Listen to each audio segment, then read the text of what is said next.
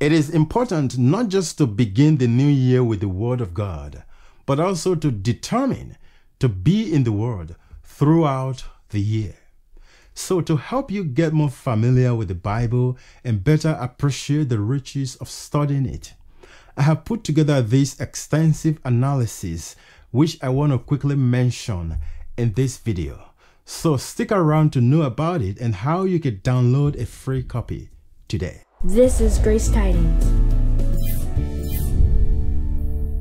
Hello, my name is Williams, the young man whom Jesus loves and the faithful witness for Christ. Welcome to Grace Tidings, the platform for evangelism and discipleship. There is a brochure available for free download right now on Grace Tidings website. It is something that you will want to have as part of your Bible study toolkit. It is entitled the extensive analysis of the Bible. Among many other things, you will learn in the brochure about the source of Scripture, that is, how the Bible got to us. I included many not so obvious facts and figures from the Bible, as well as some Bible fun facts. You will know not just the number of books in the Bible, but also the total number of chapters and verses.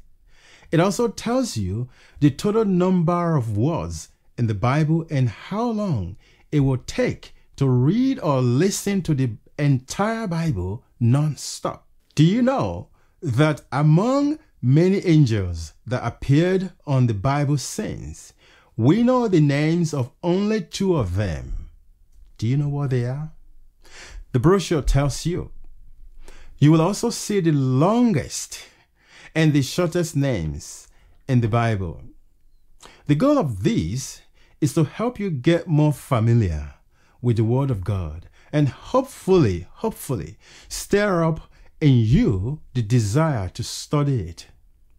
You can download a copy and start using it today. I have included the link in the description of this video. The Bible is the book of books. Each book in the Bible has a beginning and an end, as well as a central theme. Sadly, many people just see the Bible as a collection of verses that have no connection to one another. No wonder many verses are often taken out of context. It took about 40 human writers over a period of about 1,500 years to write the entire content of the Bible.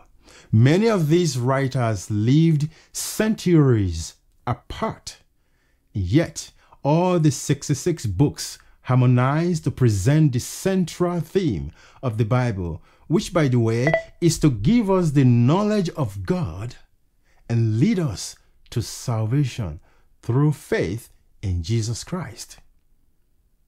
As a testimony to its influence and popularity, the Bible is the world best selling and most printed and translated book in the history of mankind.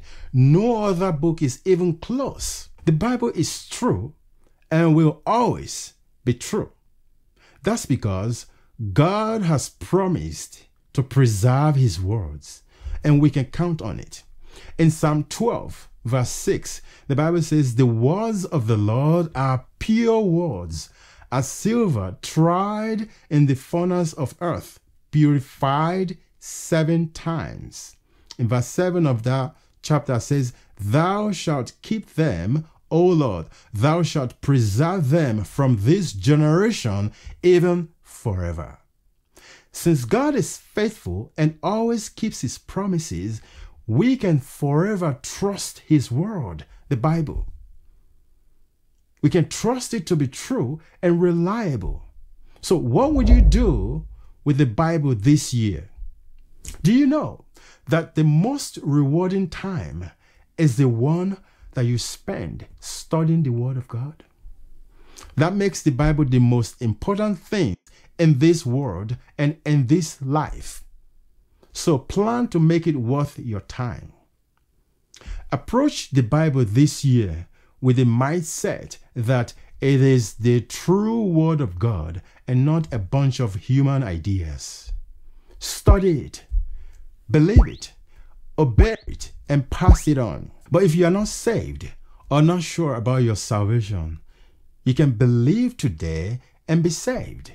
Christ suffered and died for your sins so that if you trust in what he did for you, you will be saved. So admit what God says about you that you are a sinner who cannot save him or herself. Your sins have separated you from God, and you are heading for eternal damnation as the wages of your sins. But God, He has shown His love for you by sending His Son to be punished for your sins. In 2 Corinthians chapter 5 verse 21, the Bible says, For he, God, hath made him, that's Christ, to be sin for us, who knew no sin, that we may be made the righteousness of God in him. Jesus Christ has suffered your punishment, so you don't have to.